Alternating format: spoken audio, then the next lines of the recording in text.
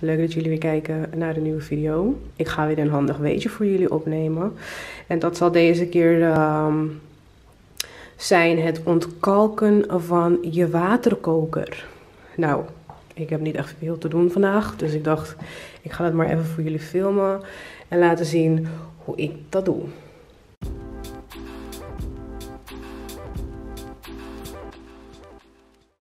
Water. Het maakt niet uit of het water uit de kraan is of uit een flesje of uit een barleyduckpak of weet ik niet.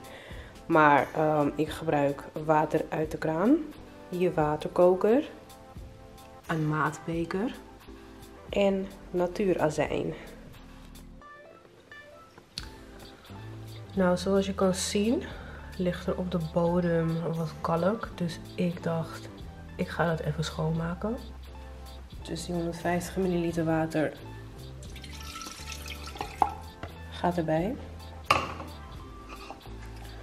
Vervolgens doe ik er ook 150 ml natuurazijn bij. En dat gaat zo erin. Voilà. Als je geen natuurazijn in huis hebt, kan je natuurlijk ook um, citroensap gebruiken. Wat je vervolgens niet moet doen, is de deksel op je waterkoker doen. Want dat kan ervoor zorgen dat je waterkoker gaat overlopen, omdat er uh, azijn in zit. Ik zou het ook niet doen als je het doet met citroensap. Ik heb het nooit met citroensap geprobeerd, maar um, ja, ik denk dat het ongeveer hetzelfde effect heeft. Dus ik zou de deksel er totaal niet op doen, want dat laat je waterkoker overlopen. En ik denk dat hij dan ook kapot gaat. Dus deksel gewoon lekker eraf laten en je zet je waterkoker aan. Zoals je ziet begint het al te koken. Dit is ongeveer het laagje wat er dan in je waterkoker zit. Je kalk moet in ieder geval um, onder vocht liggen. Dus met water en azijn. Of met water en citroensap, wat je nou net in huis hebt. Als je niet van de geur van azijn houdt, um, kan je natuurlijk ook die citroensap gebruiken. Want hoe die deksel nu open, of hoe die waterkoker nu open staat, geeft het wel echt een geur. Maar ja, weet je, hij moet schoon worden gemaakt. Dus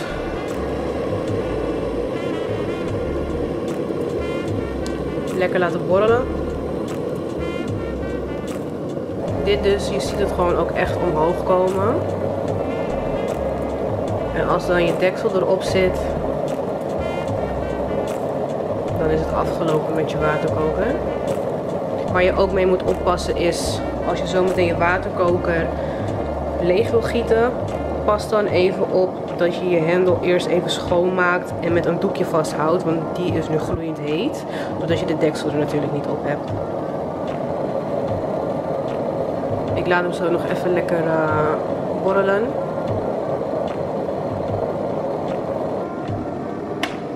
Dan druk ik mijn waterkoker uit. Dit heb je natuurlijk ook nog even nodig. Nou ja, een vaatdoekje of een doekje, theedoek, iets. Als je maar een doekje in je hand hebt. Want zoals ik al zei, je hendel is nu gloeiend heet omdat die deksel er niet op zat. Dus wat ik nu doe,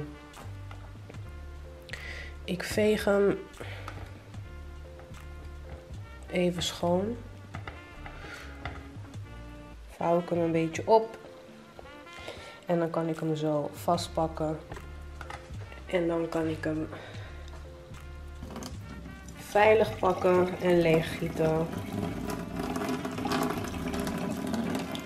In de wasbak. En zoals je kan zien, ziet de bodem er weer spik en span uit. Alsof hij weer helemaal nieuw is. Wat ik nu doe, is...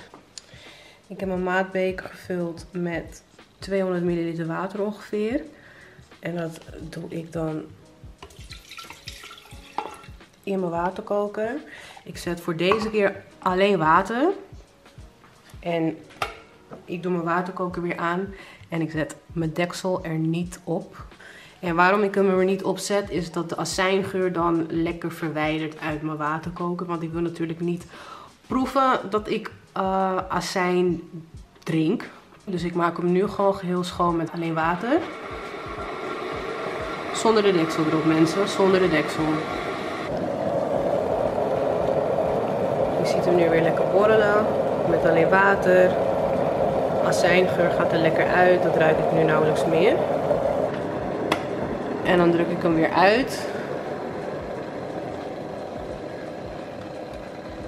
Je hendel goed droog maken.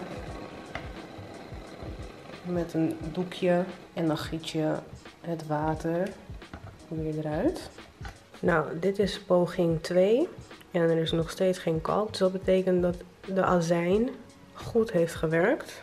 En om mijn waterkoker nu extra schoon te krijgen qua geur, want je wil die azijngeur natuurlijk niet meer ruiken, was ik hem of spoel ik hem nog ongeveer 2 tot 3 keer met 200 ml water zonder deksel. En dan is je waterkoker gewoon klaar. Dit is nu de derde keer dat hij aan het borrelen is met alleen water.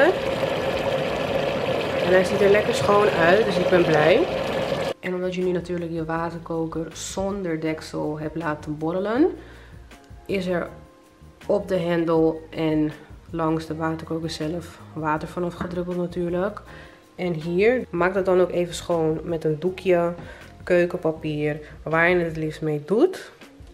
Zodat je weer gewoon veilig je waterkoker kan gebruiken. En haal ook even je stekker uit het stopcontact alsjeblieft. Voordat je dat doet. Want je wilt natuurlijk geen shockmoment krijgen. Dus pas ook nog even op met de hendel, want die is nog best wel heet.